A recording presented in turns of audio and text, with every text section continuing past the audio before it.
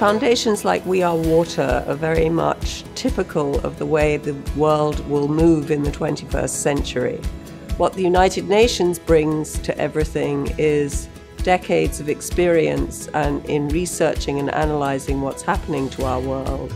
But perhaps in today's world, people need that message broken down into something quite simple. We Are Water has a clear gift for bringing issues home to people through design, through filmmaking, through visuals, through conversation. And that's those are the tools of the 21st century, which we certainly must guard all for ourselves in the cacophony that we see now today from digital media. People feel unable to cut through the noise to get to the essence. The foundation can help do that, the United Nations can help do that, probably most effectively by working together.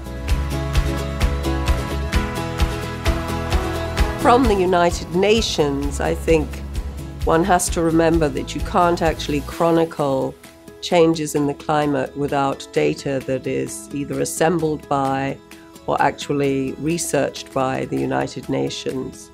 And increasingly, the United Nations is the body which will probably take the lead in trying to combat climate change. Um, but as the Secretary General continually reminds people, even if we meet the goals of the Paris Agreement, that's actually not going to be enough to stop climate change racing ahead. Something is going on with our planet. Exactly what we don't know. There's a lot of ignorance, there's a lot of populism around this. What we need is solid research and data, but then brought home to people again with a, a scaled message where you meet the big and the small to combine into some actual action.